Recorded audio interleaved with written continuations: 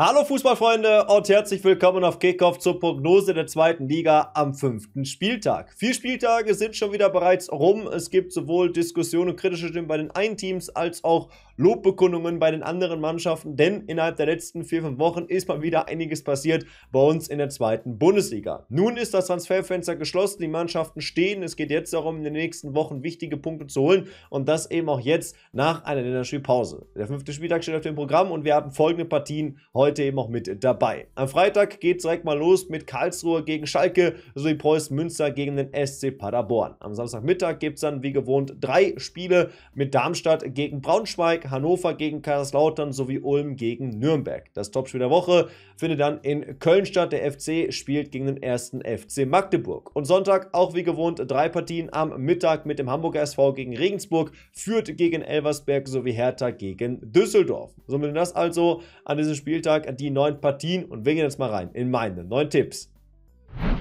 Wie immer in den letzten Wochen und seit dieser Saison legen wir aber erstmal los mit dem Blick zurück auf den vergangenen Spieltag, der schon wieder zwei Wochen her ist, um dort nochmal abzugleichen, wie gut oder auch wie schlecht ich getippt habe. Es ging für mich auf jeden Fall ganz gut los am Freitag mit meinem 2 zu 1 Tipp für Düsseldorf gegen Hannover. War für mich ein sehr schwer einzuordnendes Spiel. Ich war auch kurz davor, unentschieden zu tippen, dachte aber auch dann, nee, da wird es einen Sieger geben. Habe ich dann für Düsseldorf entschieden. Sie haben 1-0 gewinnen können. Immerhin die Differenz war somit dann auf meiner Seite. Auch bei Regensburg gegen Fürth hatte ich zumindest mal in die richtige Richtung getippt. Ich hatte 2-0 für Fürth getippt, 4-0 ist es ausgegangen. Ähnlich war es auch dann beim HSV gegen Münster. Mein Tipp 2-1, Hamburg konnte aber mit 4-1 gewinnen. Allerdings war dann die nächste, also sozusagen schon wieder sehr unerfolgreich, könnte man sagen. Ich hätte nämlich bei Elversberg gegen Darmstadt darauf vertraut, dass jetzt die Lilien den Bock umstoßen können. Ich habe 3 zu 2 getippt, 0 zu 4 aus deren Sicht ist es ausgegangen. Falsch war ich auch bei Nürnberg gegen Magdeburg. Ich hätte nicht gedacht, dass Nürnberg so unter die Räder kommt mit einem 0 zu 4. Mein Tipp war hier 1 zu 1. 1 zu 1 hatte ich auch getippt bei Lautern gegen Hertha. Ich hatte es irgendwie im Gefühl, dass viele Tore fallen, wollte aber dann noch so ein bisschen denken, nee, wenn ich das im Gefühl habe, dann geht es vielleicht eben nicht so auf, dann tippe ich lieber mal 1 zu 1. 3 zu 4 war ja dann hier das Endergebnis. Aber bei Paderborn gegen Ulm lag ich auf jeden Fall daneben beim 3 zu 1 Tipp. Auch da war ich mir sicher, Paderborn wird einige Tore machen. Am Ende gab es ein 0 zu 0. In, immerhin in die richtige Richtung ging es mich bei Braunschweig gegen Karlsruhe. 1 zu 2 war es am Ende, 0 zu 2 hatte ich getippt. Und auch verkehrt war ich dann bei Schalke gegen Köln. Ich hatte 3 zu 2 getippt für Schalke, 1 zu 3 ist es ausgegangen. Also es war jetzt auch tippmäßig kein überragendes Wochenende für mich. Es ging ganz gut los, wo ich dann echt äh, zufrieden war, auch wenn ich natürlich jetzt kein Ergebnis exakt richtig hatte, aber auch Differenztipps sind ja schon mal nicht äh, so verkehrt. Aber da muss auf jeden Fall jetzt nochmal ein bisschen mehr Genauigkeit her, um auch dann vernünftig tippen zu können. Aber am Ende bleibt es, und das sage ich ja auch schon die letzten Male, bevor das wieder falsch rüberkommt, ich bin weder ein Fußballexperte noch ein Analytiker, der in jedes Detail reingeht. Ich bin genauso Fan, wie ihr es auch seid. Und so tippe ich eben auch dann meine Videos mit natürlich auch sehr viel Bauchgefühl dabei. Und das machen wir jetzt auch wieder für den fünften Spieltag. Da legen wir los am Freitagabend mit dem Karlsruher SC gegen den FC Schalke 04. Denn damit haben wir hier auch ein Top-Team der Liga mit dabei. Denn Karlsruhe ist aktuell Tabellenzweiter. Sie haben 10 Punkte geholt und das ist natürlich eine richtig starke Ausbeute. Denn es bedeutet eben auch, man konnte drei von vier Spielen gewinnen. Man hat ein weiteres Remis gespielt und ist somit noch ungeschlagen. Somit strotzt der KSC vor Selbstvertrauen, auch wenn es vor zwei Wochen gegen Eintracht Braunschweig ein sehr schwieriges Spiel war. Es gab sicherlich viele, die gedacht haben, ja gut, Braunschweig, jedes Spiel verloren, Karlsruhe top drauf, die werden da locker easy gewinnen. Aber so locker war es auf jeden Fall nicht, denn Karlsruhe hat sich lange Zeit schwer getan, man war lange Zeit auch in Rückstand, hat aber dann die Partie eben noch drehen können. Nun geht es zu Hause also gegen Schalke, gegen einen emotional mal wieder sehr aufgeladenen Club, bei dem die Stimmung aktuell sehr schwer einzuordnen ist. Denn Schalke konnte ja am ersten Spieltag das Spiel gegen eben Eintracht Braunschweig gewinnen und dann gab es aus den vergangenen drei Partien nur noch einen Punkt. Gegen Köln, zuletzt am Sonntag, hat man insgesamt, finde ich, verdient mit 1 zu 3 verloren und äh, trotzdem finde ich, auch aus Schalker Fansicht, viele von euch wissen es, ich bin Schalke-Fan, wird es teilweise auch unter eigenen Schalkern schlechter geredet, als es tatsächlich so ist. Denn Schalke hat einen riesen Umbau hinter sich und ein solcher Umbau, das kennt man auch in Karlsruhe in den vergangenen Jahren, dauert dann mal länger als äh, nur vier Spiele, sondern dann vielleicht auch mal eine Hinrunde, die dann nicht optimal läuft, wo man eben auch dann Entwicklungsschritte schon sehen kann. Und grundsätzlich präsentiert sich Schalke auch deutlich stabiler im Vergleich zum Vorjahr. Auch gegen Köln hatte man phasenweise gute mit dabei. Zu Beginn war man gut drin im Spiel. Nach dem Anschlusstreffer war man auch durchaus dann wieder etwas besser da. Auch wenn es eben defensiv Weder auch sehr, sehr schwach war. Und da ist eben die große Frage, kriegt Schalke das gegen Karlsruhe hin? Man hat natürlich jetzt auch ein bisschen das Glück gehabt, dass die Länderspielpause war. Man konnte noch mal ein bisschen was einstudieren. Schalkes Abwehr ist das große Problem. Auf der anderen Seite hat aber Karlsruhe auch schon gezeigt, dass man jetzt auch nicht äh, nur souverän spielt, sondern auch Phasen mal im Spiel drin hat, wie auch gegen Braunschweig, wo man Probleme bekommt, wenn der Gegner auch ordentlich will. Und deswegen tippe ich hier auf ein 1 zu 1 Unentschieden. Ist natürlich, wie gesagt, auch ein Tipp aus dem Gefühl heraus. Jetzt werden wahrscheinlich wieder einige sagen, ja gut, nur weil du Schalker bist, tippst du auf ein 1 zu 1. Ich finde es aber tatsächlich gar nicht mal so unrealistisch. Schauen wir damit auf das zweite Freitagabendspiel zum Auftakt dieses fünften Spieltages und das findet im Westen der Republik statt zwischen Preußen Münster und dem SC Paderborn. Münster hat ja bislang als Aufsteiger aus der dritten Liga nur einen Punkt geholt.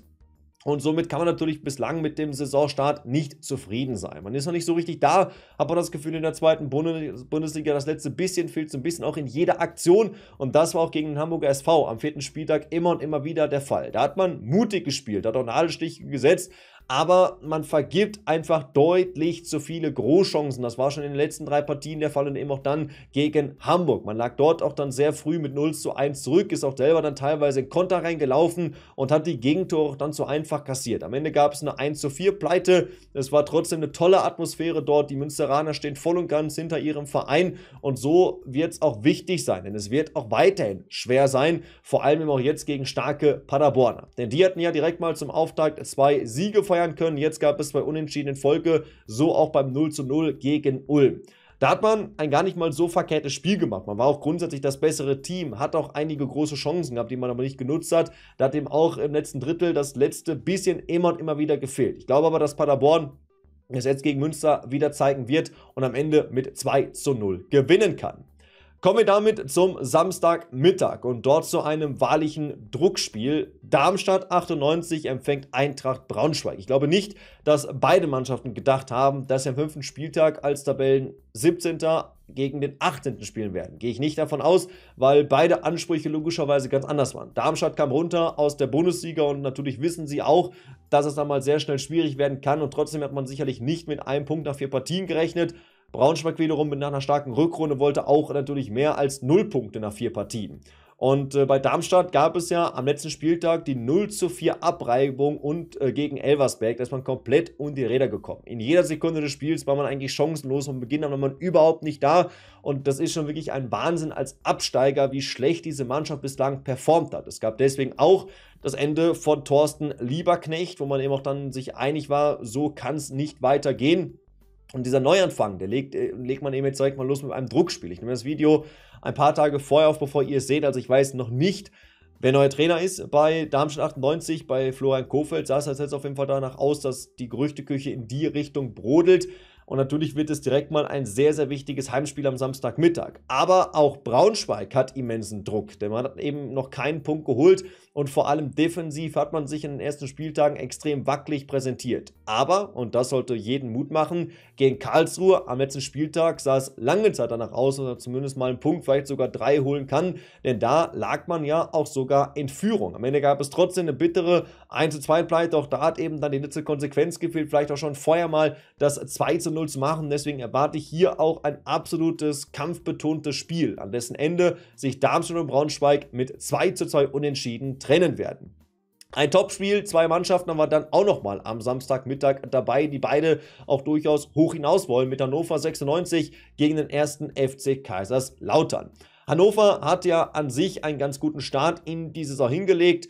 Man hat da in den ersten drei Spieltagen sieben Punkte geholt, aber auch der letzte Spieltag hat eben dann gezeigt, dass man eben phasenweise auch in den Spielen selber noch nicht konstant genug ist. Man hat nämlich zuletzt in Düsseldorf mit 1 zu 0 verloren und das war auch vollkommen verdient. Man war nicht gut drin im Spiel, nach vorne hat man kaum Gefahr ausgeschaltet. Es war ein ganz, ganz komisches Auswärtsspiel, weil einfach viel zu wenig gezeigt wurde von dem, was man zeigen wollte und man hätte sogar auch mehr Gegentore kassieren können, wenn nicht sogar gar hätte kassieren müssen, weil es einfach von Hannover kein gutes Spiel war. Kaiserslautern wiederum hat auch sieben Punkte geholt geholt.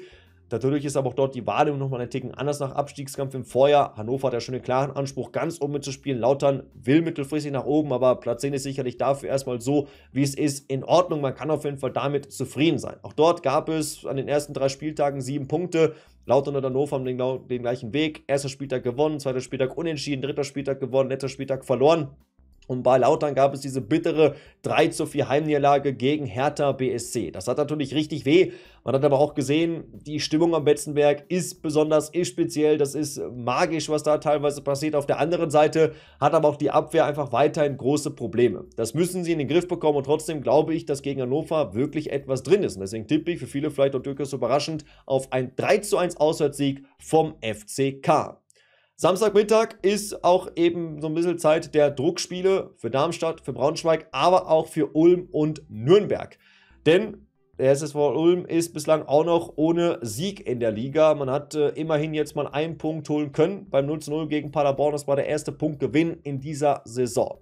Es wird sicherlich Mut gegeben haben, jetzt auch Zeit gegeben haben, in der Länderspielpause nochmal ein bisschen was zu korrigieren. Denn auch gegen Paderborn hat man phasenweise wieder wirklich gut nach vorne gespielt und die Chancen waren auch mit ein bisschen Glück da, sogar ein Tor zu erzielen. Man muss einfach effektiver werden. Ähnliches Thema auch wie bei Preußen Münster. Da muss Ulm einfach nochmal ein Ticken mehr Spielglück vielleicht auch erzwingen. Und das wird gegen Nürnberg sicherlich auch nötig sein.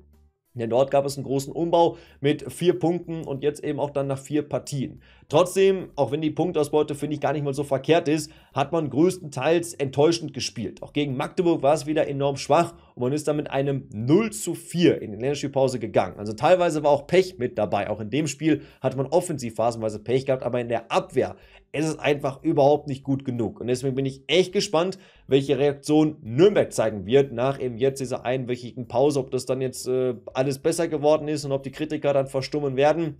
Ich glaube es tatsächlich nicht. Ich rechne mit einer Überraschung und sage, Ulm gewinnt mit 1 zu 0.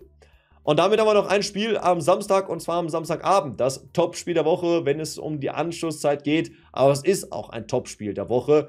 Der erste FC Köln empfängt den ersten FC Magdeburg. Köln als Bundesliga-Absteiger steht aktuell auf Tabellenplatz 6. Magdeburg als Mannschaft, die im vergangenen Jahr doch nochmal in Abstiegskampf reingeraten ist, ist aktuell sogar Tabellenvierter. Beim FC gab es ja nun zwei Siege in Folge und vor allem offensiv sieht es wirklich immer und immer besser aus, was man da so macht. Man hat größtenteils souverän auf Schalke mit 3 zu 1 gewinnen können. Es war ein verdienter Auswärtserfolg.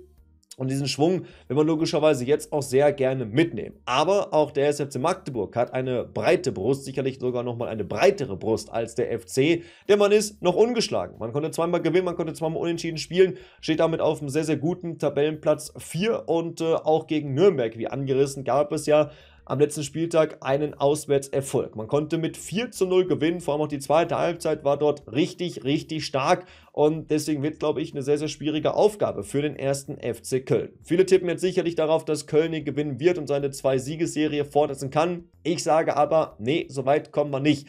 Beide Offensiven werden glänzen wie auch in den vergangenen Spielen. Beide Defensiven werden aber auch damit ihre Probleme haben und somit trennt man sich hier mit 2 zu 2 unentschieden. Blicken wir damit auf den Sonntagmittag. Auch dort haben wir noch drei Partien auf dem Programm und legen mal los. Anstoß 13.30 Uhr mit dem Hamburger SV gegen den Jan aus Regensburg. Wir haben ja aktuell in der zweiten Liga einige Mannschaften, die sieben Punkte oder auch acht Punkte geholt haben, wodurch natürlich auch das eine Ausgangslage ist, die dann bei dem einen besser ist, bei dem anderen schlechter ist. Und auch der HSV gehört eben dann zu den mehreren Mannschaften mit sieben Punkten. Und ich glaube, dass man damit auf jeden Fall leben kann. Am letzten Spieltag gab es den 4 zu 1 Sieg gegen Preußen Münster. Der war wichtig, das hat gut getan und man hat eben auch richtig schöne Tore erzielt. Zur Pause lag man ja schon mit 3 zu 0 in Führung und gegen Regensburg, wenn man nur natürlich jetzt erst recht vor heimischem Publikum genauso weitermachen. Und auch der Jan ist letzten, letzte Woche am letzten Spieltag, ähnlich wie Münster, komplett untergegangen. Man hat mit 0 zu 4 gegen die Spielvereinigung aus Fürth verloren und hat ja grundsätzlich auch schon zuvor defensiv große Probleme gehabt. Man braucht zudem auch parallel vorne einfach dann zu viele Chancen und äh, hat auch dann Fürth im Spiel am Ende einfach machen lassen. Das ist natürlich sehr gefährlich, dieses Gesamtkonstrukt dann jetzt gegen den HSV zu spielen, die Lust haben, die liefern wollen, die in die nächsten drei Punkte holen werden, denn Hamburg gewinnt hier mit 3 zu 0 und damit sehr souverän gegen Jan Regensburg. Über Regensburg Gegner die Gegner haben wir gerade schon ein bisschen gesprochen mit der Spielvereinigung aus Fürth, denn auch das ist ein Top-Team der Liga, was weiter ungeschlagen ist. Man hat bislang starke 8 Punkte geholt und eben am letzten Wochenende, als keine Länderspielpause war, gegen Regensburg mit 4 zu 0 gewonnen. Man hat zwar auch dort teilweise zu viel zugelassen, wo Regensburg sogar Chancen gehabt hätte, ein Tor zu erzielen. Ausgerechnet Noll, der jetzt zuvor von Sonninger kritisiert wurde, hat da richtig starke Paraden gezeigt. Und trotzdem haben wir natürlich jetzt auch mit Elversberg eine Mannschaft, die nochmal deutlich offensivstärker ist im Vergleich zu Jan Regensburg. Denn Elversberg hat bislang auch fünf Punkte geholt natürlich auch äh, prägend durch den letzten Spieltag, wo man eben gewinnen konnte, ist das eine gute Ausbeute. Dennoch, äh, Elversberg konnte am letzten Spieltag mit 4 zu 0 gewinnen gegen Darmstadt. Man hat dort einen sehr, sehr guten Fußball gespielt. Aber es darf natürlich auch nicht vergessen werden, dass Darmstadt auch ein dankbarer Gegner war in dem Falle. Denn äh, Elversberg wurde teilweise eingeladen zum Tore schießen. Also Fürth wird es ihnen schon deutlich schwerer machen. Ich sehe einfach dann die Mannschaften im Vergleich dann sehe ich einfach deutliche Vorteile bei der Spielvereinigung aus den tippe deswegen hier auch auf ein 2 zu 1 Heimsieg. Ein Spiel haben wir noch und auch das hat sicherlich den Namen Topspiel verdient, denn zwei Aufstiegsaspiranten treffen aufeinander mit Hertha BSC und Fortuna Düsseldorf. Auch die Hertha hat sieben Punkte geholt, also wenn wirklich einige Mannschaften, die die Punktausbeute auf ihrem Konto haben. Und zuletzt gab es ja dort das Wahnsinnsspiel auf dem Betzenberg. Man konnte mit 4 zu 3 gewinnen, es ging hin und her, man lag zurück, man war in Führung, man lag zurück, man konnte noch gewinnen. Und äh, das war schon wirklich der absolute Wahnsinn. Man konnte, finde ich, schon sehr, sehr gut sehen, was Christian Fell vor allem auch im Ballbesitz haben möchte. Man konnte aber auch sehen, dass die Defensive auch bedingt durch den Abgang von Marc-Oliver Kempf sehr, sehr wackelig ist. Und da ist eben so ein bisschen die Frage, wie weit Düsseldorf genau das ausnutzen wird. Denn die haben, ähnlich wie Karlsruhe, einen Top-Start hingelegt mit 10 Punkten. Man hat schon drei Siege auf dem Konto. Jetzt eben der 1-0-Sieg gegen Hannover, der wirklich ein unglaublich souveräner und starker Auftritt war. Die Mannschaft ist nochmal besser geworden, er ist recht in der Kaderbreite. Man kann richtig gute junge Leute reinwerfen und deswegen steht Düsseldorf vollkommen verdient auf Platz 1. Und ich sage jetzt schon mal, Düsseldorf wird dort auch bleiben denn man gewinnt gegen Hertha mit 1 zu 0. Und damit sind das also meine neun Tipps für den fünften Spieltag in der zweiten Bundesliga. Und ihr habt ja schon am Anfang des Videos gesehen, meine Tipps gehen nahezu immer komplett so auf und deswegen lohnt sich auch der Blick nochmal auf die Tabelle, denn genau die wird dann so aussehen nach dem fünften Spieltag. Die Fortuna aus Düsseldorf wird Tabellenerster sein, vor dann den 11-Punkte-Teams aus Fürth, Paderborn und Karlsruhe. Wir hatten Hamburg und Kaiserslautern mit jeweils starken 10 Punkten und somit oben natürlich direkt mal einen richtig guten Aufstiegskampf. Aber auch im erweiterten Kreis dazu haben wir dann Magdeburg und äh, Köln mit 9 und 8 Punkten, sowie auch dann eben noch Hertha und Hannover mit 7 Punkten. Elversberg und Schalke bilden dann so ein bisschen das kleine Mittelfeld mit jeweils 5 Punkten und ab dann wird schon eng für Ulm und Nürnberg mit 4 Punkten, Regensburg mit 3 Punkten, Darmstadt immer mit 2 Punkten und dann Münster und Braunschweig mit jeweils einem Punkt auf dem Konto.